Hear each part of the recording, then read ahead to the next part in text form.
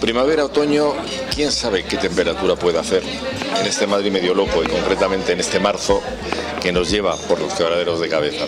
Sé que decir que los hilos de marzo son maravillosos para cambios que son espectaculares. También en el mundo de la gastronomía, sobre todo coincidiendo con una parte de esos embajadores, entre comillas, que se llaman de la nueva cocina en Madrid Fusión, en sus 20 años de periplo extraordinario, donde se ha atendido muy poco a la prensa especializada, de verdad, y sí a los vericuetos de los intereses mercantilistas de quien dirige ciertas cosas.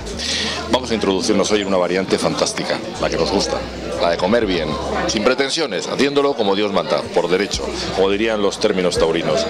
Hablar que tenemos una carta hoy para este otoño, salida de primavera con una cosa muy simpática, que tiene que ver con nuestro mar, que tiene que ver, como no, con las apreciaciones desde el punto de vista gastroalimentarias que siempre provocan la sensación de querer más. Y es el caso de unas buenas almejas, esas almejas tan importantes que dan la consonancia a lo que es nuestro litoral, la parte mágica del mundo del Cantábrico, esa vuelta de hoja que siempre es necesaria entender para aquellos que son amantes del placer epicúreo y también, como no, de intenciones varias, porque ya saben que la almeja es muy proclive a ser un uh, seductivo y adictivo producto.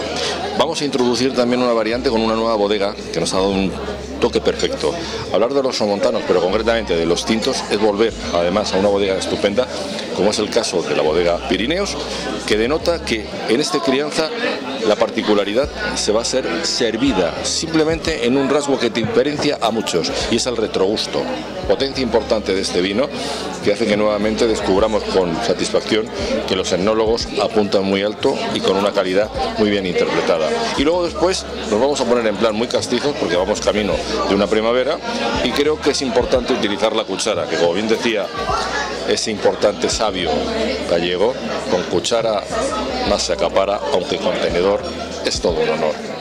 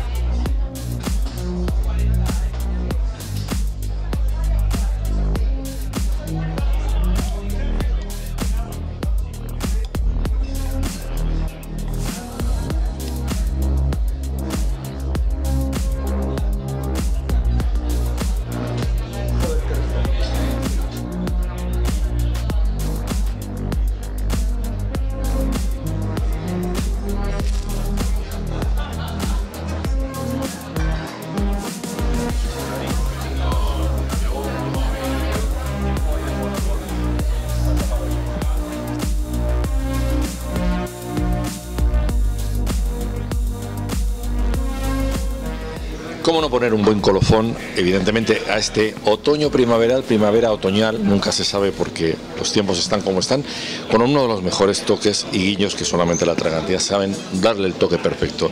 Veas el caso de esas villoas gallegas, sí, esas fresas de Aranjuez también importantes, y ese tocino de cielo que no deja de ser un recurrente para aquellos que son golosos y que buscan detrás del apartado del, dulce, del, del edulcorante, el sabor de la vida. ¿Por qué digo esto?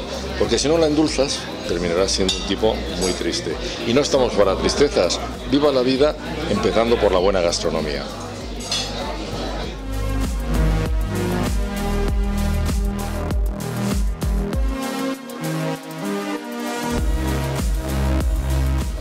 Las cosas que son siempre joya de la casa, en este caso como no, del gran jefe Castillo, que al final hace que hagamos un guiño directo a las denominaciones de origen de esos Pedro Jiménez que son únicos, que son baluarte de lo español.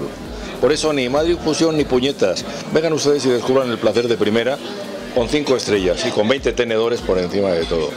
Hay que ponerse por lo bueno. Lo malo ya lo conocemos.